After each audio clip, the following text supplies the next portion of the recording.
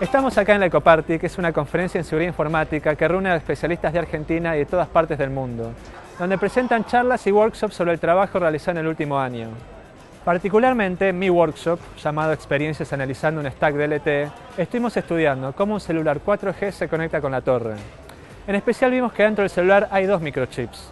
Uno, el que corre Android, el más conocido, y el segundo que se encarga de las comunicaciones. Este último no es tan conocido, ha tenido muy pocos estudios en los últimos años y es tan susceptible a problemas de seguridad informática como el primero.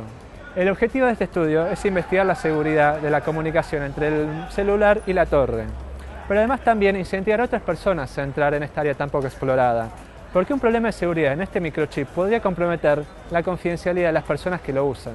Para el programa de seguridad en TIC de la Fundación Sadowski es muy importante venir a este tipo de eventos, porque compartimos conocimiento, intercambiamos ideas y debatimos resultados obtenidos en este año.